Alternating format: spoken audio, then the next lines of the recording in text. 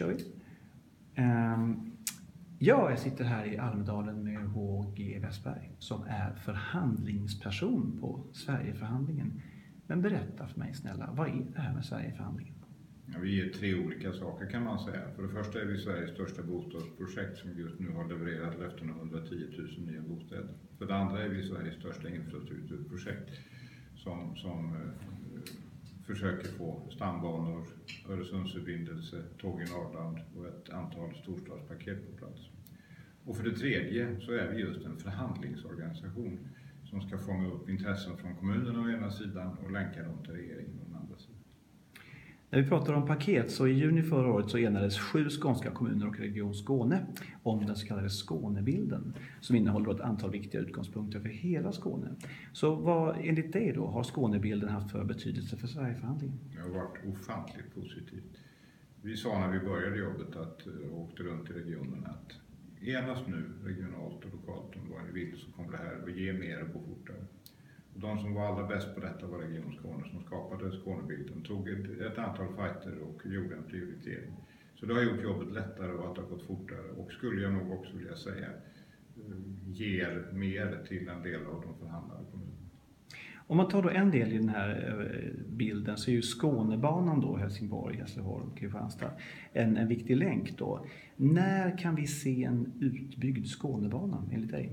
Formellt ligger den ju utanför mitt förhandlingsuppdrag. Men vi har ju skrivit till regeringen ett antal gånger och sagt att ska höghastighetsbanan få sin fulla effekt och kanske framförallt när vi valde en sträckning som gick till Malmö och inte till Helsingborg så är det avgörande betydelse att eh, Skånebanan eh, rustas upp. Skulle regeringen fatta beslut i den riktningen så kan de tidigast göra det i den infrastrukturplan som läggs 2018 och då skulle man kunna få, få, börja få byggeffekter i ett par år därefter. Men det bygger på beslut utanför min kontroll. Om vi tittar på Hässleholm som en kopplingspunkt då. Hur ser du på möjligheten då att koppla den här nya höghastighetsbanan till det befintliga systemet just i Hässleholm?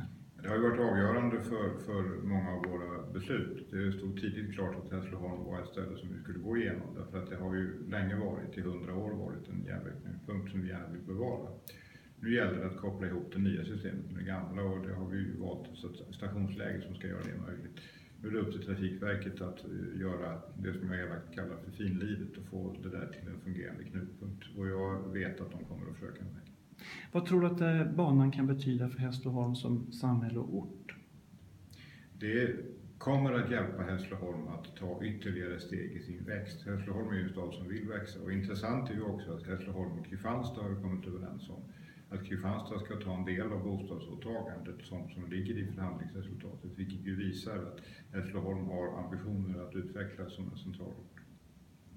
Om man tittar då på hela södra stambanan, då, vad tror du att höghastighetsbanan kan innebära för utveckling av just den och de orter som ligger längs med södra stambanan? Det är ju så att Södra stambanan är en av de mest överbelastade stambanebitarna som vi har i Sverige. Och bygger man höghastighetsbanan, en ny generation järnväg bredvid den, så avlastar man Södra stambanan kraftigt. Vilket innebär att man får mycket bättre regional och lokaltrafik men också godstrafik. Jag tror det blir en injektion för, för Skåne och för, för den delen även Småland. Är jag elak om jag säger att man ibland får känslan av att svensk järnväg liksom planeras och byggs i snuttar? Jag tänker då på Hallandsåstunneln som är en väldigt lång snutt i och för sig. Men om man då tittar på hur ska ni då kunna säkerställa liksom att vi får ut den fulla effekten av höghastighetsbanan? Att inte, liksom, att inte de här kompletterande åtgärderna inte blir av eller blir försenade? Därför att vi, vad vi gör för att åstadkomma det du säger, och det du säger är jätteviktigt. Jag håller med om att svensk järnvägsbyggande, för den delen också motorvägsbyggande, har varit väldigt snuttifierat. Vi försöker hålla upp ett systemperspektiv och peka på det att höghastighetstågsystemet blir inte komplett förrän det når alla sina tre ändpunkter och blir inte komplett innan det kopplas till, till ett antal avslutande banor. Vi försöker hålla upp det perspektivet väldigt kraftigt i dialog både med, med trafikörer, med Trafikverk, med regeringen och med kommunen. Så du är optimist där? Ja, jag är väldigt mycket optimist där därför att det är ju så att den här stora investeringen i höghastighetstågsnäten den blir ju inte effektiv till fullt om man inte kommer med andra betydligt mindre investeringar bredvid. En viktig sak också, inte minst för Helsingborg och andra orter, är de här fasta förbindelserna över sundet. Vi har en idag, men vi har ju två till som ingår i själva förhandlingarna. Hur ser du på dem? Vi har ju sagt att vi ska börja metodiskt med det här och se vad som först kan göras för att få den befintliga eh, förbindelsen att nå sin fulla kapacitet. Det innebär trimningsåtgärder och det innebär en del på trafikföringen och det innebär förmodligen en del tilläggsinvesteringar. Men vi vet ju att den kommer att slå i taket en gång. Exakt när vet vi inte och det tittar vi på tillsammans med Danmark nu. När slår vi i kapacitetstaket? Då är det vårt uppdrag att peka ut vilken den andra förbindelsen ska bli. Och vi lutar ju kraftigt åt, och det har jag inte stuckit under stol med, att det är just Helsingborg-Helsingör som är den andra förbindelsen. Det är så mycket som talar för just den. Finns det liksom ett datum, ett årtal när en sån förhandling skulle kunna starta som du ser det? Vi är ju igång med de preliminära diskussionerna med Danmark, vilket var väldigt väsentligt. Vi kan inte göra det här själva och det är många danska beslut som måste fattas. Men jag hoppas ju att när vårt mandat går ut i årsskiftet 17 att vi ska ha en, en plan för hur den förhandlingen ska kunna se ut. Om vi nu drömmer oss bort till framtiden och så har vi två nya förbindelser, hur skulle det påverka Sverige enligt dig?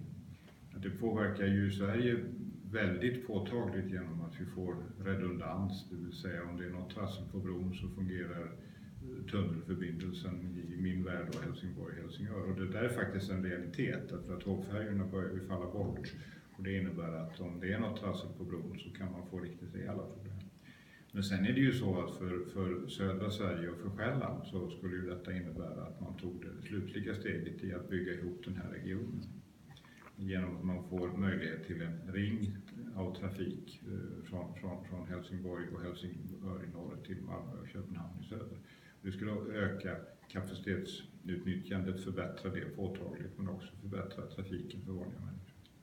Om man tittar på trafiksystemet här i Sverige, Skåne, Danmark så är det kopplat till resten av Europa. Och hur kan ni från Sverigeförhandlingens sida säkerställa att de investeringar vi gör kopplas till de investeringar som görs eller finns i resten av Europa? Jag skulle vända på frågan. Vad vi kan göra för att inte åstadkomma någonting är ju eh, mycket värre. Om vi inte bygger höghastighetstågsystem i Sverige finns det ingenting att koppla det till.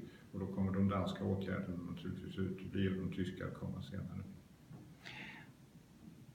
Tack. Tack.